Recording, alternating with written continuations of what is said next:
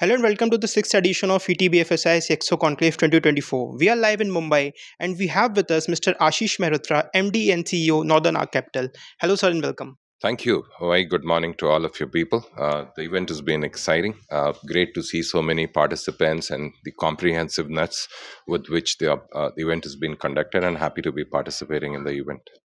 Sir, since the uh, theme of the event was, uh, you know, encashing the digital economy, and we are also heading towards India at 2047, and Prime Minister has a vision to, you know, propel the digi- uh, digital in every field. So, how do you see this, and uh, what is your view on NBFC's role in India at 2047 journey? I think too many questions into one. Let me try and break it out to you. I think the big part of the India growth on the digital side happened uh, with build out of what's known as Jam Trinity, uh, which is essentially uh, mobile commerce, mobile uh, Jandhan accounts coupled with Aadhaar. We've already seen we have 1.3 billion uh, people with Aadhaars. We're now doing almost over 10 billion transactions on the UPI.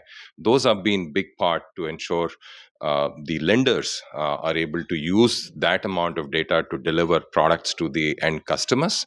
Uh, more importantly, if you look at it, uh, India credit to GDP uh, or the household credit to GDP is about 40%. And I think there is a big growth if we have to get and achieve the objective Prime Minister Ji has laid it out for India.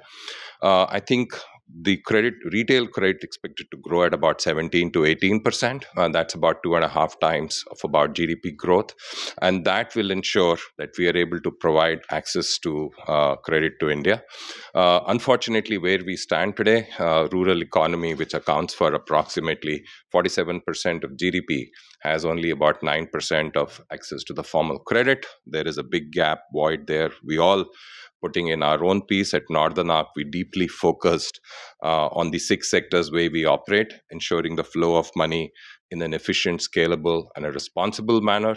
Uh, more importantly, lever our domain expertise, data capabilities, and digital to ensure we are able to provide credit to the people, not only directly, but also collaborate with about 300 plus other lenders to ensure we are using the multi channel, which means lending, uh, providing them credit solutions, investing through funds, sharing our data scorecards with them, sharing our tech stacks in a very comprehensiveness uh, to deliver the end product. We would have impacted about 100 million lives, about 10 crore people directly, indirectly, and have enabled about 1.7 trillion of financing so far in this Uh, sector. Thank you so much, sir, for giving your valuable time and speaking Thank with you us. Thank you. much.